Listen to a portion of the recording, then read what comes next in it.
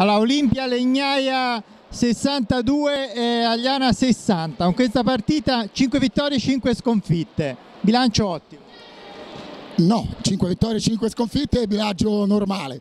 E bene, siamo contenti. Difficile, all'intervallo eravamo sotto 10, giocavamo, c'eravamo in difesa, l'avevamo preparato anche bene, per una volta mi faccio un complimento da solo, se non fai onesto a questo gioco non vinci con nessuno, bene, bene, bene. Sì. E nel primo tempo cos'è che non era andato per il verso giusto? No, primo tempo 17-12, primo quarto 17-12 Legnaia, poi 9-24 nel secondo quarto. Ho fatto presente ragazzi, statisticamente parlando, noi i primi quarti abbiamo preso 20 punti, sempre perso. Giustamente siamo ragazzi furbi, diciamo, prendiamo le 12 il primo, ma 24 il secondo, perché se no non si può fare a meno.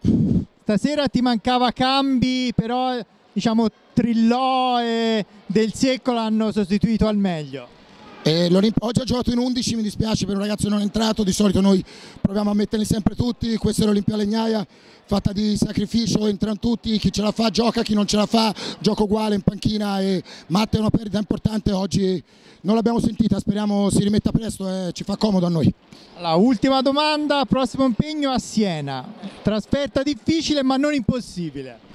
Trasferta difficile ma non impossibile, sì. Ora abbiamo Siena, poi abbiamo Lucca e poi si inizia l'anno nuovo col botto con eh, il derby. Per me vincere oggi e essere a 10 devo dire fare un complimento ai miei ragazzi. Oggi è già Natale, io non credo nelle feste, però proviamo ad andare a Siena a vedere chi siamo, tutto qua.